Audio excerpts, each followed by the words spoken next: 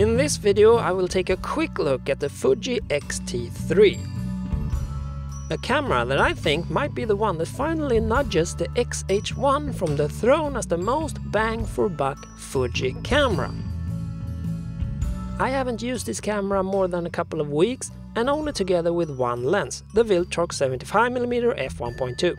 But I have used a lot of Fuji gear including the X-T1 and X-T2 so I can still make some comments. And they are all pretty much the same. Therefore I will keep it short, most of what's worth mentioning has already been said over and over in my other Fuji videos. Now before the Fuji fanboy online militia attacks, let me clarify that I mean that in the most positive way I can that Fuji provides pretty much the same camera with some variations in design and functionality, letting us decide which part of the camera we prioritize is fantastic.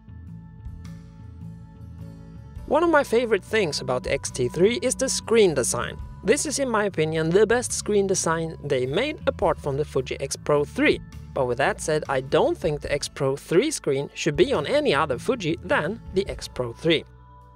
The fully articulated screen on the X-T4 is an absolute deal breaker for me and you will most likely never see me review it, no matter how cheap it gets. Speaking of, the X-T3 can be had at a steal right now. With both the 4 and 5 out there, lots of people are looking to offload.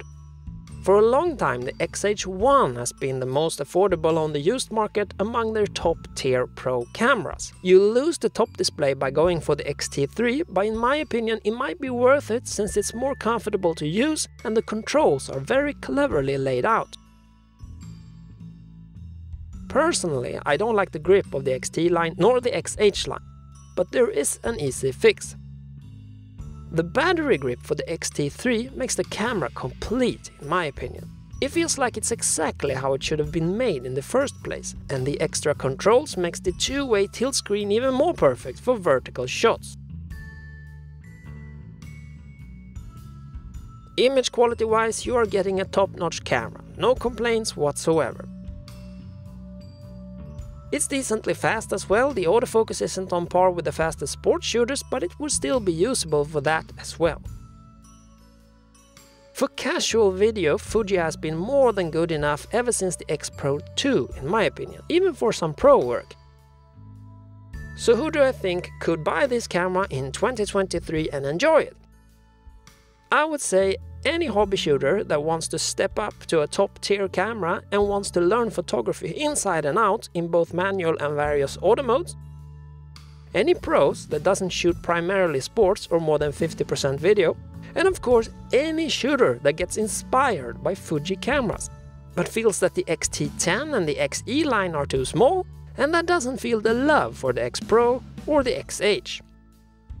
An alternative to consider is obviously the X-T2 that's almost for free now. But if they are only one or two hundred dollars apart where you shop, then I wouldn't hesitate going for the X-T3. If you wanted it as cheap as possible, you would go for the X-T1 anyway. That's it.